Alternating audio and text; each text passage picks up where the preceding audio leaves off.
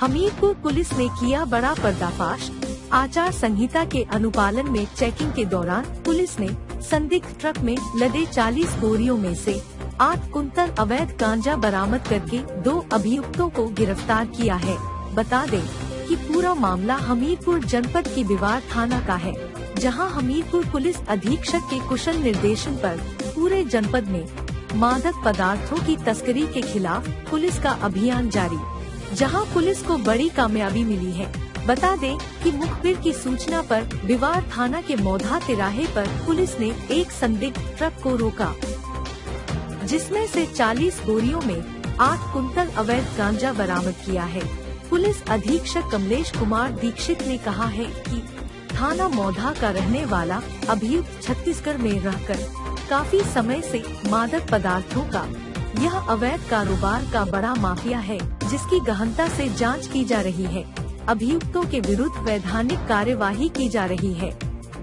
पकड़ गया कितने लोग गिरफ़्तार हुए और कितनी गाड़ियाँ इस पे?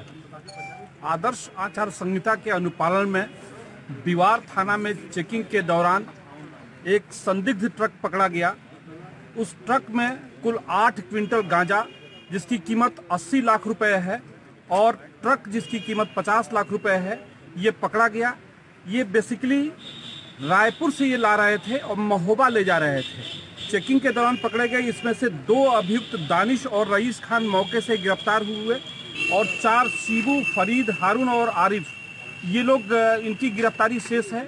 इस संबंध में ज्ञात हुआ कि ये बेसिकली मौदहा थाना क्षेत्र के रहने वाले हैं और रायपुर में रह करके ये इस कारोबार को अंजाम देते हैं। वहाँ से ये विभिन्न जनपदों में भेजते हैं।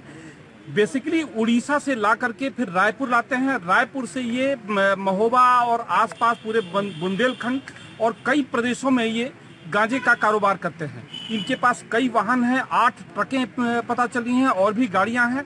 एक बहुत बड़ा रैकेट है, जिसका पर्दाफाश हुआ है और इसमें दुर्ग विजय जो एसओ बिवार हैं, इनकी टीम को पच्चीस हज़ार रुपये का इनाम प्रदान किया जा रहा है। साथ ही इस पूरे गैंग के अनावरण के लिए लगातार कोशिश जारी है।